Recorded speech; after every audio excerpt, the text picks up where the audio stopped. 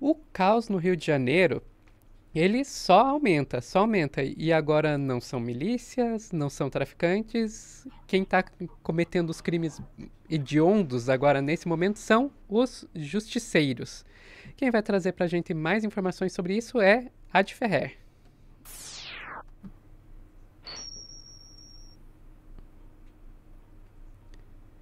Então, Ad, como é que é essa história? A gente já está acompanhando aí esses justiceiros que resolveram tomar para suas próprias mãos, né, fazer combater o crime no Rio de Janeiro, mas não está dando muito certo. Explica pra gente. Sofia, isso era meio óbvio, até porque uh, todo mundo que estuda aí a formação de milícia sabe que foi exatamente por aí que elas começaram e outros grupos aí começaram dessa forma, outros grupos paramilitares. Bom, esses grupos agora eles são formados majoritariamente por homens, moradores de Copacabana, praticantes de jiu-jitsu, né? Eles se juntam no WhatsApp e outras redes sociais e também divulgam alguns vídeos e fotos deles. Eu vou botar aqui. É uma foto que eu acho que o YouTube vai aceitar, o print da, das conversas, ó. Uh, é uma. É a mão do, da pessoa, do tal do, do justiceiro é, com sangue. Uh, e deixamos fundidos, né? Enfim.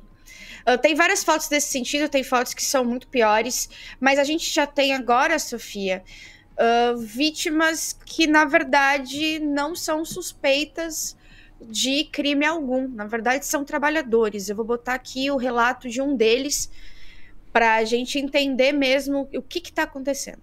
Parados nas esquinas ou circulando pelas ruas de maior movimento. Mesmo assim, foi possível notar reflexos do clima tenso dos últimos dias. Nessa esquina, um rapaz que chegou para vender balas foi agredido pelo garçom do restaurante. Sou pai de família, tô desempregado. Eu trabalho aqui honestamente, né, cara? Como é que tá? Eu sou trabalhador, todo mundo sabe ó, como é que eu me visto. Eu não sou mendigo, eu não sou cracudo. Eu saí de lá de Santa Cruz, eu tenho uma filha, eu tenho uma esposa. Eu prefiro levar alimentação para casa, não preciso roubar nada de ninguém. Meu negócio é trabalhar. O governo do estado prometeu vestir e Uh, esse é um só, um deles, um relato de um deles só. A gente já tem, já sabe pelo menos de duas pessoas que fizeram um BO na delegacia porque sofreram agressões uh, por nada, por simplesmente terem cara de bandido, né? E aí, é. pela cara de bandido, a gente sabe muito bem o que, que isso quer dizer. Exatamente. Uh, inclusive, tem mensagens, Sofia, que eu não trouxe porque eu acho que é muito pesado, e aí eu já faço até um alerta de gatilho aí pelo que eu vou falar nos próximos minutos, nos próximos segundos, mas uh, tem mensagens entre eles dizendo que qualquer homem negro sem camiseta andando por Copacabana é para descer o pau. Uh, isso é um, numa praia, então pessoas negras que estão na praia, né, tomando sol, se né, se divertindo e estão saindo para, sei lá, pegar um ônibus, esse caminho pode ser perigoso para essas pessoas, porque agora tem um grupo que se acha acima do bem e do mal e que pode fazer atrocidades, porque na verdade a tortura é um crime hediondo. Uh, esse grupo pode se enquadrar também como grupo paramilitar, tá? E é proibido pela Constituição. E aí o, o Estado, finalmente, Sofia, veio apresentar aí uma solução. Porque qual é o caso? Apesar dessas pessoas estarem muito erradas de fazer a justiça com, a, com as próprias mãos, a segurança no Rio de Janeiro tá um caos, né? A gente viu médicos sendo mortos por engano, e aí começa uma guerra, praticamente uma guerra dentro do Rio de Janeiro.